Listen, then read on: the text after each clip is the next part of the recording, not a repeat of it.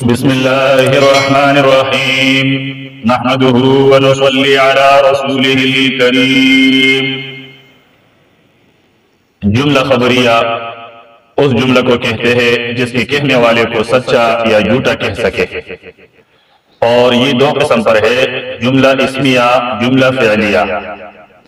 جملہ اسمیہ اس جملہ کو کہتے ہیں جس کا پہلا حصہ اسم ہو۔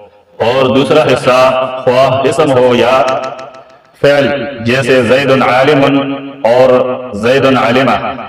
ان میں سے ہر ایک جملہ اسمیہ خبریہ ہے۔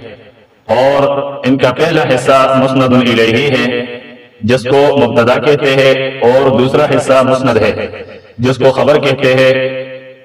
جملہ اسمیہ خبریہ کے معنی میں ہے، ہوں، ہو آتا ہے۔ مخکې پرونی سبق کې د مرکب تعریف ذکر کړو چې مرکب دې ته ویل کېږي چې د دوه کلمو یا د زیاتو کلمو نه جوړ کړي شي بیا د مرکب تعریف کړو چې مرکب په دوه قسمه باندې دی مفید او غیر مفید. بیا د مرکب مفید تعریف کړو چې خبره کوونکې خبرو کې او اوریدون کی تا تیرے شئی واقعی بارہ کی خبر. یا ویون کی خبروں کی اوریدون کی تا دیو خبر طلب معلوم شی داغی مثال نے ذکر کریو آخر کے دا ذکر کریو چھ مرکب مفید تا جملوں میں رکھی گی او کلاموں میں رکھی گی بیا د جملې تقسیم کو چې جمله په دوه قسمه باندې ده. جمله خبریه جمله انشائیه اوس د دې نه د دې هر یو تعریف ذکر کی دي جمله خبریه تعریف ذکر کی بیا د جمله انشائیه تعریف ذکر کی۔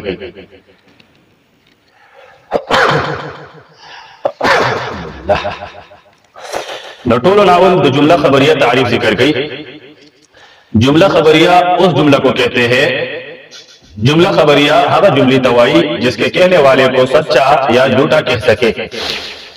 چې دا غي ویل کتا رښتینه یا دروغجن او ویل شي یعنی پاره کې د رښتیا او د دروغ احتمالي چې کله ویل کې خبره وکي او بیا دا جمله خبریه په دوه قسمه باندې ده. جمله اسمیه جمله فعلیه. یو د جمله اسمیه بل د جمله فعلیه. اس جملہ اسمیہ سے پہلے کی گی دری تعریف ذکر کی۔ جملہ اسمیہ اس جملہ کو کہتے ہیں۔ جملہ اسمیہ و جملے پہلے کی۔ جس کا پہلا حصہ اسم ہو، چدری اولانا حصہ اسم ہوئی اور دوسرا حصہ خواہ اسم ہو۔ اور دویمہ حصہ برابر خبر دا کارا اسم ہوئی او یا فعل ہوئی مثال سنگر جیسے لکا زید عالم اور زید عالمہ۔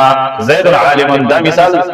دا جملے دا پارشو جی، چې اولنې جمله دا اولنې کلمه دیمه کلمه دواړه اسم دي لکه زید داوم اسم دی عالم داوم اسم دی زید المبتدا عالم ولا خبر، مبتدا سره خبر جمله اسمیه خبریه اور زید العالمه نو زید العالمه کې دا مثال هغه جملې د پاره شو۔ چې اولنې کلمه اسم او دویم فعل وي زید دا اسم دی عالمه دا فعل دی چې زید زید عالمه هو شعر دی ان میں سے ہر ایک جملہ اسمیہ خبریہ ہے۔ پدی کی دا ہر یو جملہ اسمیہ خبریہ دا۔ دا جملہ اسمیہ خبریہ والی دا چاول سرے اسم راغلے دے۔ اور ان کا پہلا حصہ مسند الیہ ہے۔ دا دی اولینا حصہ چیا دا مسند الیہ دے۔ زید دا مسند الیہ دے۔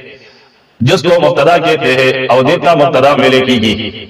اور دوسرا حصہ مسند ہے۔ اور دویمہ حصہ مسند ہے۔ مسند دے لکہ عالم دا مسند دے عالم دا مسند دے۔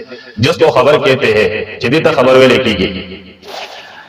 جملہ اسمیہ خبریہ کے معنوں میں، دا جملہ اسمیہ خبریہ کے معنوں کے ہے راضی دارنگی ہوں راضی اور ہو راضی۔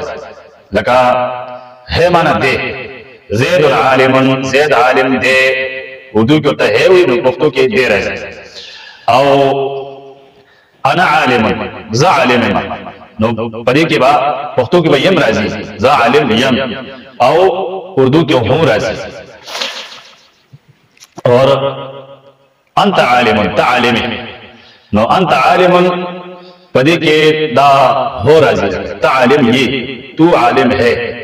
دا مثال شو.